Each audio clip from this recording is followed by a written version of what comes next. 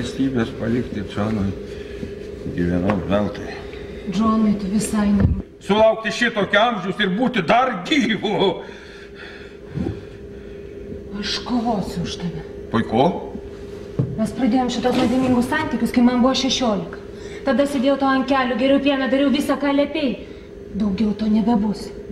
Tavo cherubinų jau 23 ir ji kovos. Foka ir grandinę. Bet kokas tik į galvą šaus. Va, va, va, va, kaip tik šito man ir reikia, kito proto, kuris veiktų. Pasiklausyk pro sienas girdėti, kaip galvojama. Štai Jeffris niuniuoja apie išdavystę, štai Richardas urzgia kaip sužeistas žvėris. Eleonora, o jos mintis sunkios, kaip išlydytas švedas ir marmuro luitai mano namai.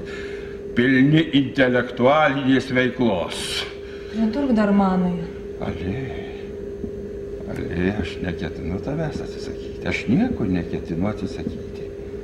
Maldausiu, skalsiu galvas ir širdis ir kai viską baigsiu, Džoną padarysiu savo įpėdiniu, Richardą nežymių kunigaikščių ir vis dar turėsiu tave. Kada galiu tavim tikėti, Henry? Visada.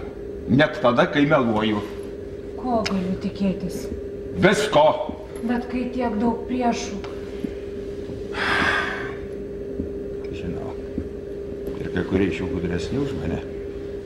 Arba žiauresni, labiau negalestingi, arba labiau nesažiningi. Bet juk ne viskas sukaupta viename.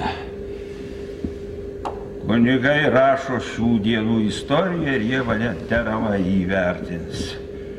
Henris pasakys, jie buvo šunsnukių šunsnukis.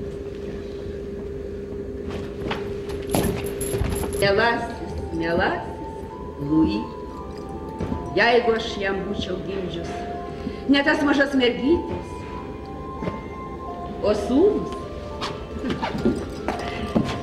tebe būčiau Prancūzijos karalienė ir mes nebūtume pažinę vienas kito.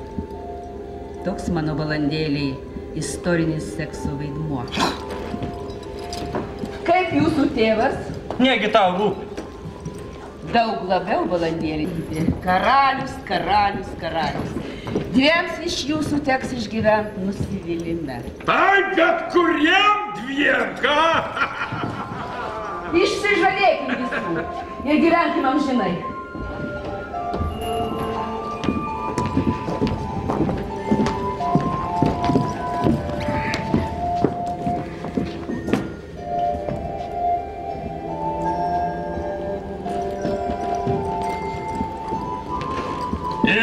Prie ilties.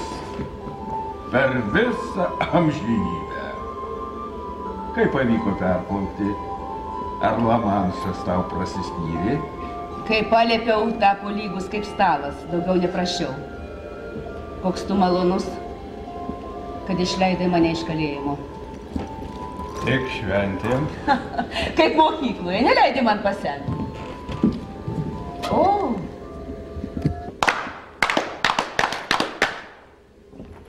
Aš pakviečiau Prancūzijos karalių. Apčiopos pokalbiui.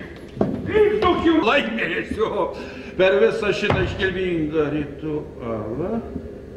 Tu paremsi savo tėvą. Kodėl aš? tavo pareiga, mielasis. O sakykit, koks tas Filipas? Ha! Girdėjau, kad atrodo įspūdingai kaip 17 metais. Mes laikomės tokių pozicijų. Arba įvyks sanduoka, arba gražinamas veksinas. Ale ištekės už Richardą. Arba mums tučtojau gražinama grafystė. Aišku, tikslu ir gerai pateikta. Taip. Bet a, a štai kokia painiava. Jeigu grius arba pritrūks rašalo, bet kai aš numirsiu palikęs besivaidinčius sūnus, mano žemė suskils į tris dalis pilietinėme kare. Supratot mano problemą? Aiškiai, bet tai jūsų, o ne mano problemas. Teisinga, bet teoriška. Veksinas mano. Kokiu pagrindu? Ten visur stovi mano pulkai. Dėl to jis mano. O dabar paklausyk manęs, berniuk. Įsižiūrėk į savo prisiminimus apie mane. Eik, ha, kokie tau išliko. Ir pripažink, kad jie jau pasenę. Aš jau nebesu tavo tėvo draugas, dabar aš esu jo sūnaus priešininkas. Aš tai įsidėmėsiu. Įsidėmėk dar ir tai. Mūdu esame pasaulis. Mažu pasteliu. Tauta kaip žmogus daro tai, ką darome mes dėl savo tikslų. Žinoma, jeigu mes esame civilizuoti, mes galime paslėpti peilius, galime susitaikyti, taika mūsų rankose. Aš turiu savo mokytojus. Ar čia viskas? Pagalvok, pagalvok. Atvykai čia su tikslu. Pateiki man savo reikalavimus. Gal nori manęs paklausti, ar aš turiu kokį pasiūlymą? Ar turit kokį pasiūlymą? Dar ne, bet apie vieną pagalvosiu. Beje, tu sugebi tai geriau negu aš maniau. Nebuvau tikras, kad pastebėjot. Na, Ar pasakytum tėvę, kad aš turiu karaliaus sugebėjimų? puikaus karalius. Ar galėtum tikėtis, kad aš be kovos atsisakysiu savo paveldėtų teisų? Žinoma, tu kovosi. Tokį tave išauklėjau. Mane rūpi Danija, alė ir karūna, viską turėsiu.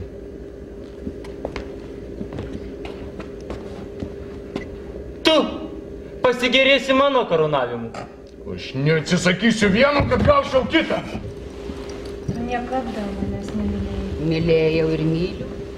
Patikėk. Henrio lova tai Henrio sritis.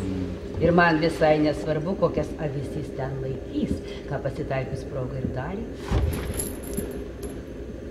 Vis dar tai? Kai Henriui teko rinktis tarp šios damos ir mano žemė, Jis paliks mane, jeigu jam reikės. Aš tą žinau. vargšelė. Mane įskaudinti labai paprasta. Meilės, kaip bučiavau tave, tavo, savo bučiniais šluošiau tavo ašaras, kai šukavau tavo plaukus, nejau tu gali patikėti, kad aš galiu tave įskaudinti. Eleonora, kuriai abi rankos surištos už nugaros.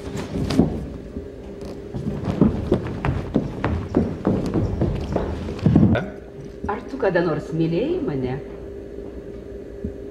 Ne. Aš blogai elgiausi su tavimi, ar ne? Tu elgėsi su manim gudriai ir gerai. Jau to nebedarysiu, tikrai. O aš? Juk jis faktas. Jis mūsų gabiausias sunus. Jis ir stipriausias. Ar ne? Ar aš galiu jam neduoti karūnos? Pats pasiimtų, jeigu neduočiau. Ne, tu priverstum mane kovoti, kad gaučiau ją. U, sunkus. O, Eleonora, čia mano antkapio akmuo. Tu mane lepini, Eleonora. Bet kas įmanoma. Tu jį pagimdė, jis tavo sūnus. O dievai. Taip, 280 dienų aš jį nešiojau. Visas jas prisimenu. Tu kaip tik buvai susiradęs Rozamundą. Kodėl būtent ją? Aš buvau susiradęs ir kitų moterų. Nesuskaičiuojama daugybė. O koks tavo skaičius? Gal suskaičiuokime tas paklodės, kurias tu buvai pasitiesusi? Henry, mes atrodom kvailai, kaip pavydim. Netrodo. Tau vis dar rūpi, ką aš darau. Rosamunda! Tave aš mylėjau! Jeffrey, Richardai, Johnai! Nedrįsk manęs laikyti nelaisvėje. Tu esi karaliaus sūnus, todėl pilies su tavimi elgiuosi padoriai. Negali Pagarbiai. čia manęs laikyti. Kol nesutarsime, kad sekantis bus Džonas, galiu laikyti ir laikysiu. Dar nėra tokios pilies, kuri mane sulaikytų. Labanas. Taip esi berniukštis. Kai kuriais atžvilgiais. Kurį turiu omeny? Neklausiai, ką pats už tai gausi. Jeffrey, o dar ką? Tiek verta tavo pagalba. O ko savo ruoštų nori iš manęs? 2000 kareivių, Dar ko? 500 raitų riterių. Dar ko? Ginklų ir amunicijos apgulčiai. O dar ko? Niekada nerašiau, nes maniau, kad tu neatsakysi. Aš du metus praleidau visose pragaro gatvėse. Keista. Nemačiau tavęs tenai.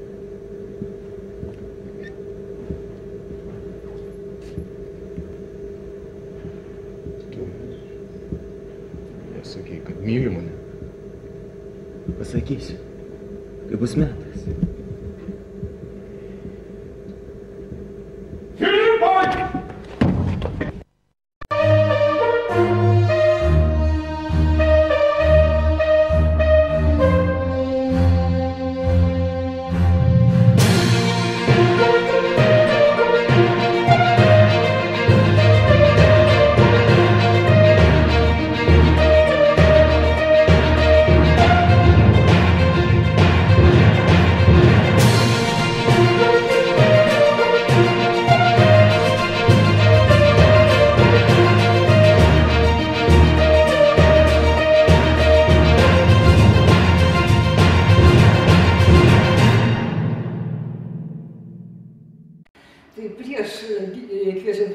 Padėjimą, aš norėčiau, kad mes pažiūrėtume ištrauką iš spektaklio Liūtas žiemą, e, kurį šiaip jau atsirado archyvose, nes per, e, iš, Sauliaus dėka jį buvo mm, pervesta iš, iš Vesdavestės į, į DVD ir po to kviesiu kalbėti.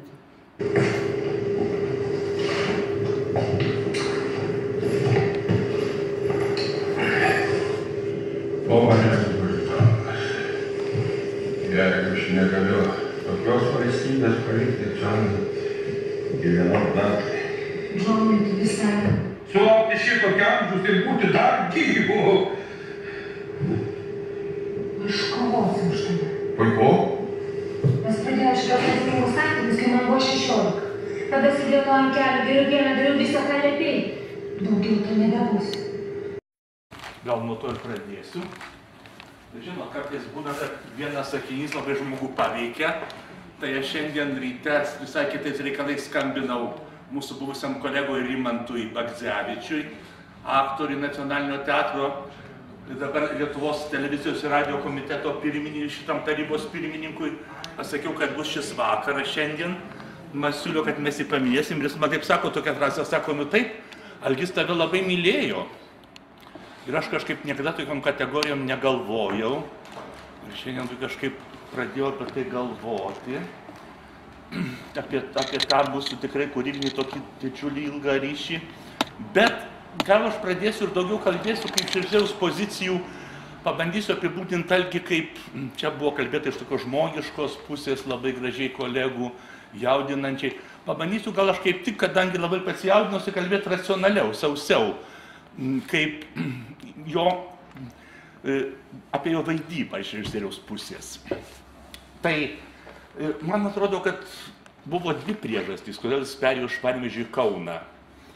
Pirmoji priežastis, apie kurią užsiminė mielas Albinas, kad tikrai Masiulis, kuo toliau, tuo labiau kažkaip, jis nuo pat pradžių, aš nebijau to žodžio, aišku, jis labai daug jiems padarė, Masiulis įgerbė visą laiką, nie karto nepasakė apie blogo žodžio viešai, bet jeigu dabartiniais kriterijais žmonių santykių reiškia, tai toks atvejis kaip Masiulio, e, kaip Miltinio santykis sektorius būtų negalimas, jo niekas neleistų. Tai būtų tiesiog kriminaliniai atvejai, kai žeminimai, nes kaip paėmė, sakykime, tris tomus repeticijų, aš paskaičiau tris puslapius, man bloga pasidarė. Nežinau, kaip leido, tu durniau, tu kvaily tiesiog, mes siūlytiesi šviesiai per repeticiją, sako, varo. Mes žinom, kiek žmonių žuvo, kiek žmonių buvo traumuoti visam gyvenimui. Ir viena iš tų priežasčių buvo, kad vis dėlto, kai suaugo, jie tapo liaudės artistais, o žinojo visą, e, visą tą vyrių sąjungą, o miltinį žiūrėjo kaip į tokius bahuriukus, kuriuos galima siuntinėti ant dviejų raidžių ir kaip nori.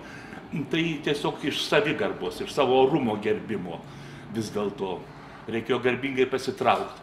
O antras dalykas, kaip ten bebūtų, bet visuose tuose vaidmenyse šviečia miltinis per visur. Visi jo aktoriai buvo miltinio ruporas vis dėlto. Spektaklis tai buvo jo ir visi buvo tik tai toj e, kosmose miltinio tam tikra kažkokia planeta. O Masiulis, kaip ir visi jo didieji aktoriai, ir Babkauskas, ir Banionis, ir ta pati Dalė Melėnai, tie visi subrendo, miltinio šviesoj, miltinio, taip sakant, katalizuojami, visi tapo savarankiškais dydžiais ir atėjo laikas Masiuliui autoriniam darbui. Jis norėjo išsisakyti, pasisakyti, ką jis sukaupė per gyvenimą. Nes tas pats miltinis nukreipė juos visus į tą skaitimą, mąstymą, filosofavimą, o rezultate vis tiek dėjo, taip sakant, labai šoras kaip aiškės. Todėl tas jis turėjo mintį ir galvojo, kad Kaune jam pavyks tiesiog kitam teatre, kitoj struktūroje, kur tikrai va, kiti buvo jaunesni, gal mažiau patyrę teatre, labiau išreikšti save. Taip sakant, yra autorinis kinas, yra autorinis aktorių darbas. Na va, ir kai mes susitikom, tai buvo 81 metai, tas minėtas spektaklis Gintarinė byla. Ir tikrai tai buvo labai aiškiai matęs ir jautėsi. Nu, tarp mūsų buvo, jis galėjo būti mano tėčių tais laikais, buvo mano tėvo amžiaus.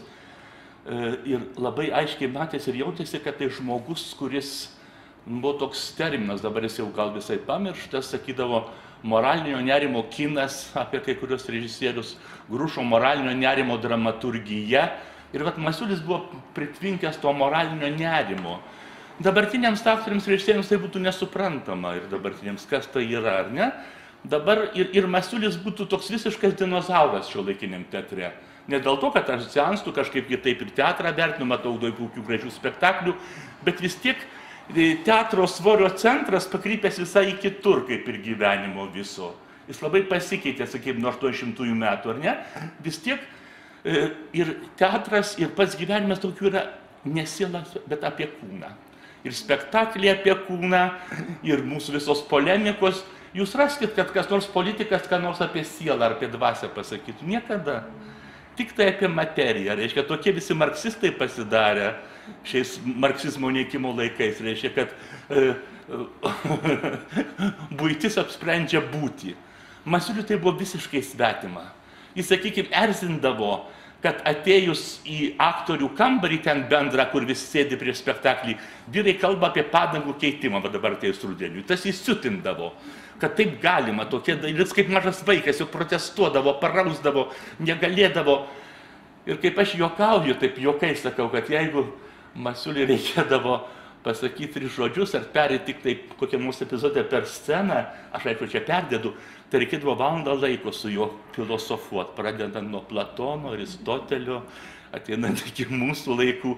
Tikrai žmogus, kuris e, tiesiog, nu, kaip vaikas, mes turbūt su metais taip prarandam tą savybę, pasaulis netobulas, niekada tobulas nebus, žmogus gyvenimas per trumpas, kad jis galėtų rimtai kažkaip jį pakeisti ir matom, kas toliau darosi vis tiek pasaulis, kaip bebūtų liūdna, eina savo pabaigą, naikinam riušis vieną po kitos gyvūnų, rezultate ir patys save sunaikinsim su to besaikiu vartojimu, noru turėti, o ne būti.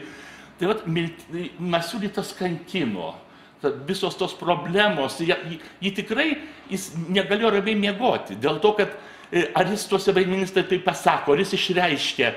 Ir būdavo taip, kad, sakykime, Nu, jis priklausė vis dėlto tai retai Miltinio mokyklai. Mes visi, va, Tinesą taip prie dvi mokyklas tokias skirtingas, jinai e, patyrė ir e, Miltinio mokyklą ir patyrė Gytiso Stanislavskio mokyklą, Rusų tą, kuri pas mus yra. Ir jos yra labai skirtingos, nes, sakykime, vis tiek, e, va, tas Miltinis buvo mokinys Šarlio Duleno, kaip ir Arto, kaip Baro, kaip Vilaras, garsus prancūzų režisieriai. Ir žinot, kaip sakė Nika Niliūnas, prancūzų tauta padovanojo nuostabų dovaną, kalbą prancūzų pasauliui. Tai vat, ten vis dėlto dar ir dabar stojant į komedį francės ir visur dekl, į tas mokyklas aktorinės ta deklamacija tų senųjų Rastino, Kornelio tekstų, med, tų visų garsiųjų. Ir va ta mokykla, patys girdėjot, koks balsas, kokios intonacijos, ar ne, kaip aš, pažiūrėjau, blogai kalbu palyginti su juo savo greitą kalbę ir koks vis dėlto obertonai ir pauzė pripildyta. Toks yra grušo terminas, va dabar grušą minės irgi e, muziejus jo e, emocijos pripildyta mintis. Kad vis tiek va pirmoji eilė eina mintis. Ir, ir va tas mąstymas, vis tiek mąstymas yra susijęs su kalba Tai aukščiausia, ką mes galim perduoti vienas kitam, kalba išsakom, nors jinai netobula, ar ne? O dabar kodėl turbūt teatras kalbos atsisako, tampa bet kokia, bet kas gali rašyti tekstus. Vat vakar mačiau spektaklį įdomų e, apie žmonių sergančių Dauno lyga problemas. Bet pagalvojau, kad ją patys aktoriai susimprovizavo iš savo patirties. Bet jeigu būtų dramaturgas parašęs, viskas būtų žymiai stipriau, viskas būtų žymiai taigiau. O to atsisakoma. O Masiuliui, va tai mokyklai žodis, pauzė prisodrinta buvo labai labai svarbu. Ir sakykime, apie liūtą žiemą, e, tokia, kad mano kalba nebūtų irgi per daug tokia sausa akademiška, bet čia matėt vaidino du studentai - Gabrielė ir Vaidas.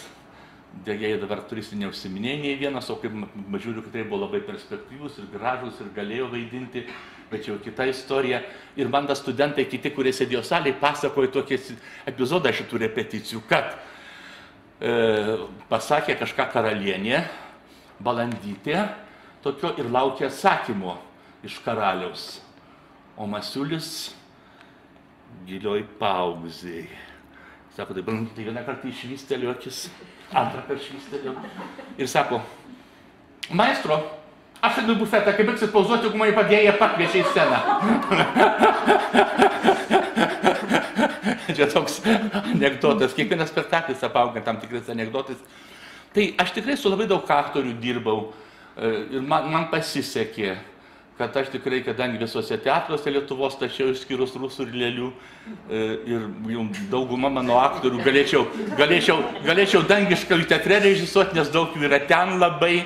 Tai tai, kad aš jaunas režisierius tik pradėjęs, susitikau su Masiuliu, tai tikrai didžiulė dovana, didžiulė mokykla.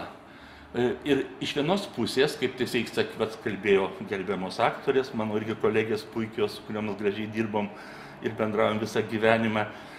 Tikrai būdavo tokio ir jo užsivedimų ir kažkokių pikimų ir aš jaunas ten, bet jis visada turėjo tokį e, nu, pagarbą režisieriui.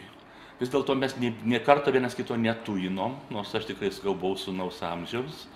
E, ir tikrai jis mane vertė, ta prasme, kad ne tik į tą žodyną tarptautinių žodžių žiūrėti, bet tikrai kiekvieną žingsnį, kiekvieną vaidmenį, kiekvieną mizanseną interpretuoti su juo, apgalvot, pasiruošti. Ir tikrai turbūt vat, buvo tas stimulas ir visam gyvenimui išmokė, kad tu negali įti repeticiją, kaip dabar dažnai būna ieškoti, ko nepametai, kad ateisiu ir mes čia kažką repetuosim, re, improvizuosim, darysim, kad į kiekvieną repeticiją turi ateiti tiksliai žinodamas, ko nori, pasiruošęs konspektą net pasirašęs, mizanscenas nusipiešęs, bet čia pat išklausyti ir aktoriaus ir ieškoti bendro sprendimo, reiškia, ką tu siūlai, ką jis siūlai ir ieškai bendro vardiklio, kartu bandydamas atrinkinėjai, kas yra reikalinga, kas mažiau reikalinga. Ir va tada, kaip Albinas pasakoja tą mechanizmą, kažkaip randi tokį tikrai racionaliausią, geriausią abiem pusėm priimtiną ir turbūt tada stipriausią sprendimą. Kaip sako, kaip režisierius numiršta aktorių. Ne tai, kad numiršta, bet jis lyg inicijuoja, pradžioje jis lyg ir žino kažką daugiau, paskui jis kaip tik laukia iš aktorius įkvėpimo, kaip aktorius tai perdės per save ir jau, kaip Brukas sako, tampa geriausių žiūrovų, kur žino, kaip turi būti atrinkinėję, kad tas tinka, tas netinka ir aktorius irgi užsiveda ir toks eina bendras procesas.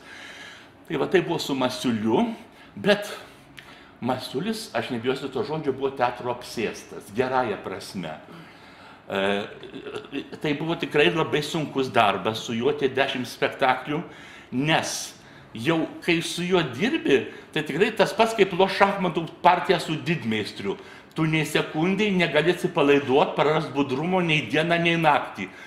Vat, aš gyvenau tada pas tėvus, kestučio gatvėje, tiesiog tik išbėgus iš teatro per kiemus ir labai greitai tik tai fit ir jau aš namuose ir jau močiutė valgyti padarius, pietus po repeticijos, Jis sako, jau skambino tas tavo masiulis.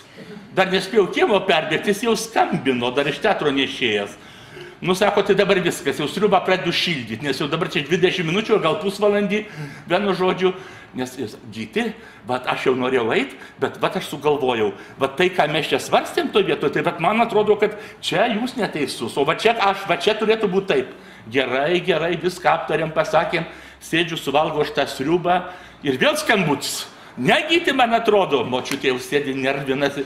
Sako, aš su juo vieną kartą pasišnekėsiu, ką jis, ką jis jam pietų nedaro žmona, kai jis nevalgo, nežino, kaip mane nervina, kad viską turi valgyti sušalusi. Tai o mano darbo tai nevertina, čia tik jūsų tie teatrai turi rūpėti ar ne žmogui, galvoj.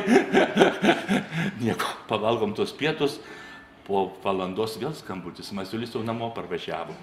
Jau mobilių telefonų, bet iš savo telefono jau skambina. Ir taip visą laiką, kol vaidmuo. Dabar, kai spektaklį suvaidindavo, tai oi, kokie reikalavimai būdavo savo. Tai, sakykime, suvaidina vaidmenį, ploja, visi gėlėm apversti, viskas gerai. Ir jis sako, va, žinot, gyti, skambina man, jeigu manęs negu aš kur kitą miestą ar ką, ar, ar po to, nu sako, va, man rodos, va ta vieta, va ta frazė šiandien gerai išėjo. Tik viena vieta, tik viena frazė pagal tą jo kriterijų aukščiausią. Dabar santykiai su mielom damom. Nu tai jis mano spektakliuose vaidino jau toj, jau toj tam pirmam spektaklį Gintarinė Vila poroj su Kazragytė. E, Čia vaidino, kaip matėt, su Gražina Balandytė. Mūsų miestelė poroj su Rūta Staliliūnaitė, su Aušra Keliotytė. Ar ne? Ir e, gyvenime galantiškas, rankas bučiuoja, apvelka, bet scenoj kovoja kaip liūtas. Ir ne tik pagal vaidmenį, ir kaip žmogus, kaip susidurime su didelio talento artistu, tai būtų tokios dvi kovos scenoj, e, kurios kreditorius tą pačią Kazragytę, bet jos ir įskeldavo tą gyvybę, tą, tą temperamentą, tą, tą jėgą, kurios reikia. Taip, ir, ir bet, bet aš dabar nustebau. Vis dėlto liūtą žiemą statant jau buvo problemų, vis dėlto jam buvo sunku. E, Skausmai stuburė buvo, paskui operacijos ne visai sėkmingos. Ir sakykime, mane jau kažkiek tada ir erzino, šiek tiek ir aš pykdavau, nebuvau toks kantrus, gal kaip, kaip Albinas minėjo, kad jis negali kai kurių mizensenų padaryti. E, Ten pasisuk greitai, atsisėti tokio kažkokio, kad vat, jau reikia taikyti tas mizansenas ir, bet žiūriu, kad visiškai to nesimato kad čia žmogus eina sukandęs dantis į spektaklį, jis jau turi kažkokius tokius fizinius negalėjimus, skausmus kūno, bet siela, dvasia jo neša jį. Jis pakrautas, jis daro ir, ir koks, gaivalingas vaidmo, koks, kokia galia eina. Tikrai toks, kaip, sakyčiau, titanas iš vidaus, kaip pasižiūri dabar. Tai dabar irgi nenorint jūsų daug laiko užimti, tikrai būtų galima, bet meilės romanai čia. Tai yra tokie trys tomai apie Stanislavskio ir įkūrėjo Nemirčiaus Dančianko santykius, e, kurie kūrė dailės teatrą ir kurie visą gyvenimą. Tai buvo, sako, tai, tai kraudė, tai atskirai, tai net aprašyta buvo Glakovo teatriniam romane, kaip vienu metu jie buvo tiek santykiai tempti, kad asistentai repeticijas planuodavo, kad kai vienas yra teatre, tai kai baigia, tai tada tas išvažiuoja, tai per kitas duris tą įveda, kad tik nesusitiktų. Tai va tokį meilės romaną, kabutėse kūrybinį būtų galima apie Masiulį galėčiau parašyti.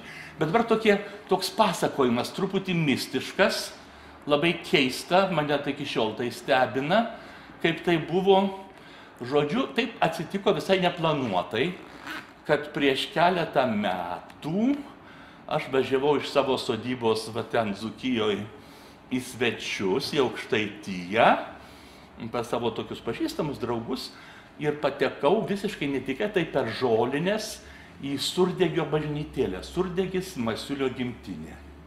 Aš ten nebuvau buvęs niekada, aš buvau toj bažnytėliai. Na ir Masiulis visą laiką pergino, kam jis paliks savo biblioteką. Kad jo giminiai nėra žmonių, kurie domėtųsi. Ir, dėl to dar ta vienatvė. Jis turėjo žmoną nuostabę gražiną, bet jinai buvo kito, tiesiai šviesiai nuostabi moteris, bet kito intelektinio lygio, kiti interesai jos buvo. Jis buvo medikė, metinio sesuo ir, taip sakant, jai tie Masiulio filosofiniai nerimai, viskas buvo gana svetimi gyvenime. Dukra taip pat medikė ir anūkė, ant vyriškos giminės palikonių nelabai, jis labai pergyveno, kam jis tą biblioteką atiduos. Ir va aš ten sužinojau, paskui su kunigu kalbėdamasis, kad jis labai norėjo tą biblioteką palikti gimtam miesteliui Surdegiui bet miestelis gimtas surdegis nepriėmė, nes neturėjo kur padėti.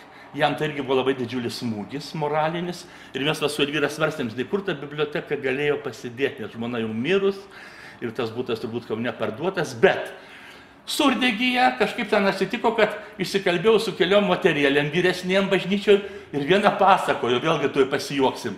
apie tokį pirmą eksercistą aktorinį Masiulio. Kad, žodžiu, jinai atsimena, kaip jam buvo 14 metų kažkada ir mama jį pasiuntė pasiuvėją parnešti suknutę mamai, pasiūtą jau pamatuotą viską. Ir kad jis vietoj to, kad ją apnešti, jis ją išpakavo, apsivilko ir ėjo šokdamas ir dainuodamas per miestelį su ta suknelė mamos. Tai reiškia toks artistiškumas, ar ne? Bet kas toliau įvyko? Vat? Aš grįžau į savo sodybą ir, ir, ir sekančią naktį turbūt po tos išvykos sapnuoju, kad ateina masiulis per tokį vandenį kažkokį labai seklų, taip taškydamas balas ir sako, gyti, tai labai noriu padėkoti, kad apsilankėt mano gimtiniai, kad pamatėte tą surdegį, apie kurį vienu žodžiu aš jums pasakiau, kalbėjau. Tai va toks sapnas. Po baigėsi atostogos grįžtu į Kauną, nueinu ten kitais vėliais pas teatro vadovą Gidijus Tanciką, paskui šitą sapną ir jis man sako, palauk, palauk, palauk. Kas? Atsidaro kompiuterį. Sako, tai tu žinai, kada tu tą sapną sapnavai? Sakau, kada? Masiulio, per Masiulio mirties metinės. Tai va, įsivaizduojat, reiškia, koks, koks tas ryšys. Aš taip pat turiu labai gražių laiškų, labai gražių dedikacijų, tokių ir net po to, kai aš iš teatro jau išėjau, aš dar labai norėjau pastatyti, va dabar, ir davė tekstą šiandien, norėjau labai pastatyti su juo ir su kuria nors aktoriai vyresnė Gogolios, Tarasvietskė pamieščiki tokį, bet jau va, stebėdamas algį, e, supratau, kad jau bus per sunku, kad jau... Ir tikrai labai liūdna. Nu, va dabar Jozaitis man piesę naują atsiuntė, kur yra vaidmenys e, labai vyresniem aktoriam. Ir labai gaila, kad pat įskyrus mielą Albiną, mes tokių aktorių neturim. Aš neseniai buvau Gruzijoje. Ką jūs, tikras felinis, visos tos aktrisos senos, visi tie artistai, jie visi vaidina, jie visi eina, juos visi gerbė, visur yra, jie daro festivalius. Pas mus nėra. Nėra vyresnės kartos aktorių, nežinau, kur jie dingo, ar juos iš tų teatrų įstumė, ar, ar, kas yra, jie, jie negerbiami. Ta prasme, jinai ruošė tą knygą jubiliejui, bet labai vis dėlto labai džiugu, kad nesulaukus mūsų jubiliejaus ta knyga didžiulė išėjo. Ir va tikrai mes ne apie daug aktorių turim tokias didelės studijas su atsiminimais, su analizėm, kad yra tikrai kaip paminklas aktoriui. Nes, žinot, va, va dabar pažiūrėkim, apsidarykim aplinkui. Nei vieno jauno veido. Va čia yra aktoriaus tragedija. Kad aš skaitau studentam paskaitas jau daug metų ir, ir, ir akademijoje, ir klaipėdo, ir visur. Ir žinot, jeigu aktorius jie nematė scenoje savo akimis, jo kaip ir nėra. Jiems, jiems ima atrodyti tas pats, ar ten Narimaitė, ar Antanina Vainiūnaitė, ar Rūtas Taliliūnaitė, kurią mes, ar, ar, ar Doloresa Kazragytė, kuri dar vaikšto tarp mūsų, kažkur ten kažkas buvo. Va tai, kas dabar va čia scenoje stovi, tai tas ir yra. Tai va tokie vakarai vis dėlto, tai ką nufilmavo gerbiamas Saulis, tai ką padarė Elvyra, tai yra tikrai nuostabu gražu. Ir kaip sako, kad ir rankrašiai nedega, ir žmonės tol gyvi, kol juos mini, kur atsimena. Taip kad aš manau, kad visi, kurie šiandien atėjo, tikrai uždegė tą tokią didelę žvakutę, tik dvasinę prasme, ir kad tai ir mums susiskaitys. Ačiū.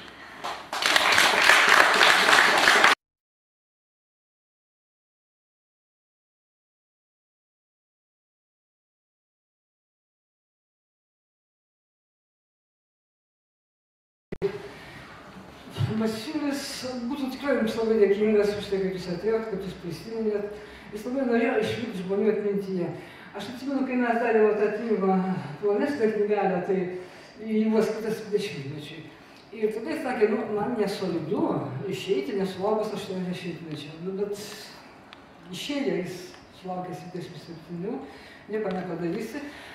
Knyga, knyga aišku, padariau, nes buvau pasižadėjusi ir, ir tuo to tikrai esu patenkinta. Siūlau šiandien jūs paskaityti, ten labai daug yra įdomių pasakojimų. Čia ne dėl to, kad aš aiškiai sudariau, visiškai dėl to. Kalbėjo kolegos iš, iš Panevežio, kalbėjo iš Kauno, pasisakė dailininkai, kurie Masiulėje matė labai įdomų modelį, jis toks gyromeniškas, gražus vyras, jį mėgo tapyti, yra jo skulptūros. Dailininkų atsiminimai sudėti. Ant viršelio yra Suvilos portretas, jį teatras nupirko. Dabar jį galima kažkur pamatyti kabantį teatre foje. E, Taip pat siūlau labai pažiūrėti Sauliaus filmą, jisai vat neseniai padarė prieš, prieš metus, prieš du, ne? Surinko jis visas tas ištraukas. Tai vieni filmai matyti, kiti ne, bet tą tokią to apimtį masiulio darbo kine, kurios, sakykime, kaip jisai pats sakė, nevertino. e, Galima matyti, mes jį vertinam ir tikrai e, klydo, galvodamas, kad jis ten kine nieko nepadarė. Kažkada dabar jau jis išėjęs yra panevežio aktorius Pulgdinis. Kai ten yra jo pasakojimas knygoje, tai kai aš jam pasakiau, kad Masiulis visą laiką buvo nepatenkintas nei savo įdirbį, nei, nei savo karjerą, nei savo pasiekimas, jis taip nustebo, kaip sako, tai o kur daugiau, o kur jau toliau, kur jau toliau. Taip kad, nu, Masiulis gal savęs ir neįvertino, gal jis matė save kitaip, nu, jis ieškojo to tobulumo, jis jo siekė, jis tobulumas nepasiekiamas, jam garbė už tai, kad jis jo tikrai norėjo siekė, bet, bet mes, tas mūsų atėjimas čia, tokia, aišku, žmonių mažai, gal COVID užbaigė. E, Mes, manau, gražiai padėkojom, paminėjom, prisiminėm ir mm, manau, kad Masiulis, matydamas mus iš viršaus, to džiaugiasi. Kaip ir viskas, ačiū visiems atėjusiems.